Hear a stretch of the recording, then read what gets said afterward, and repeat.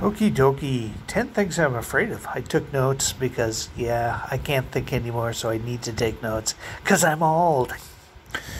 Uh-huh. Uh, that I'll unlock, that I'll leave the door unlocked. Uh, I have this weird obsession that I've uh, left the door unlocked and I check it four or five times before I go to bed. And if I get up to uh, take a leak in the middle of the night, I'll check the door to see if it's locked. Uh, yeah, it's uh, it's just really something that I'm freaked out about, and need to uh, need to address every minute of the day, basically. Yampers. Stairwells that have no handrail, uh, they freak me out completely because I can't um, steady myself on my feet while I'm going down the stairs without the handrail. I need it. And if it's not there, I have to hang on to the walls. And if it's an open stairwell, like going into the basement and it doesn't have walls on both sides, it's in the middle of the basement and it's open on both sides, I can't do it. I just will not go down there. It's not going to happen. Uh, getting hard to read. It's getting hard to read this because it uh, it won't stay zoomed in for whatever damn reason. It keeps making it small again. Uh, running out of money. Uh, I don't have much money, and uh, by the end of the month, I'm literally broke and uh, whatnot. And I have this fear that I'm going to run out of money when I need something uh, desperately, or that uh, my check's going to be screwed up and I'm not going to get it and on time to pay bills and pay the rent and stuff, and I'll be really, really, completely and totally screwed. So, you know, when you don't have a safety net, uh, life sucks. But alrighty,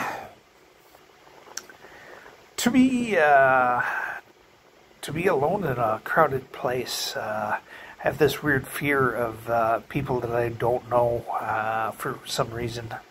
It's completely irrational, of course, but uh, I still have it it it uh, makes me very anxious uh, and uh, actually afraid when I'm in a crowd of people that I don't know anyone, uh, which is weird because uh, when I'm with somebody that I know, there's no fear at all. It's gone. But uh, I get incredibly anxious to the point that I'm.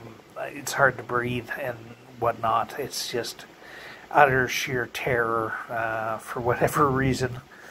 Yeah. Uh, to be uh, disabled to the point that I need to be in a care home. Yeah, I, have uh, seen the inside of uh, every care home in the city, and uh, um, I, I, honestly think I want to be dead rather than be in one of these places. I really, really want to be dead instead of in one of those places. It's just not something you want to have happen to you ever in your life. Uh, trust me, you you don't. Uh, you have no control over your life whatsoever. You, you don't. Uh, uh, you're you're totally dependent on other people, and um, you have no independence whatsoever. It's just it's hell. Um, I can't even imagine actually being there, uh, and uh, how sorry I felt for the people that I know that are in the the care homes. It's just phenomenal to me that they can actually stay sane. Heights, uh, being up high. I'm, uh, I'm afraid of heights. Uh, I've gone to the 11th floor of my building. It's an 11th floor building, so I can't go to the 12th, can I?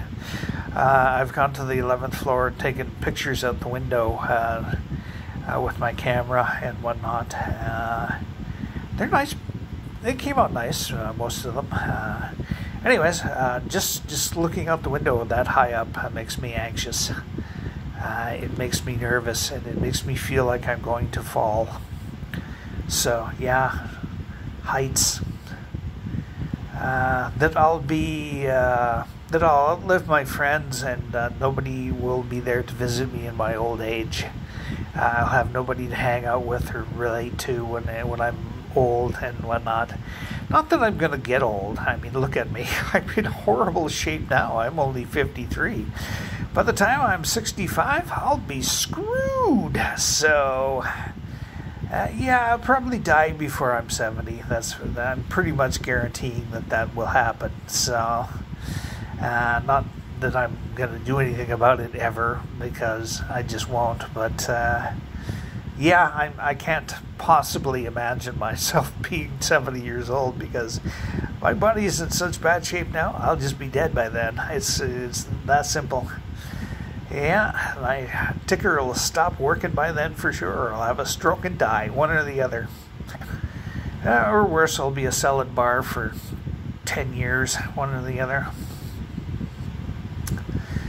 Uh, picking up a super bug type infection, you know, like MRSA, uh, and uh, needing to be in the hospital for months and months, if not a year, you know. Uh, a friend of mine uh, from the internet here was in hospital for an extremely long time. It was over a year she was in uh, because of an MRSA infection, and it keeps reoccurring.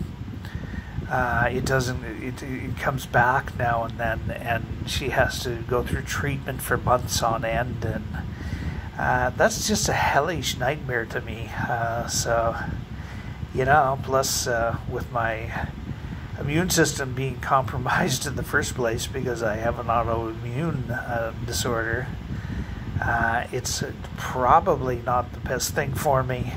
That being fibromyalgia and chronic fatigue syndrome, by the way.